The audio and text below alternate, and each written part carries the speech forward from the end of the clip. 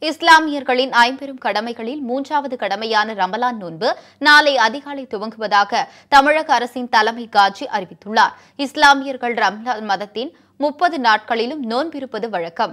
இந்நிலையில் ரம்சான் நோன்பு தொடங்குவதற்கான பிறை தென்பட்டதாகவும் நாளை முதல் ரம்சான் நோன்பு கடைபிடிக்கப்படும் என்று தமிழக அரசின் தலைமை காஜி முப்தி முகமது சலாவுதீன் அயூப் அறிவித்துள்ளார். ஏழைகளின் பசியை உணராமல் வசதி படைத்தவர்கள் சொகுசாக வாழ்வதும் ஏழைகள் குடல் கொதித்து பட்டினியால் சாவதும் சமத்துவம் ஆகாது. எனவே பசியின் அருமையை உணர்த்தி பசித்தவருக்கு அன்னமிடும் நற்பண்பை செல்வந்தர்களுக்கு உணர்த்தவும் பசியின் கொடுமையை செல்வந்தர்களும் அனுபவித்து உணர்ந்து தான தர்மங்களை தொடரவும் இஸ்லாத்தில் நோன்பு மூன்றாவது கடமையாக வலியுறுத்தப்பட்டுள்ளது.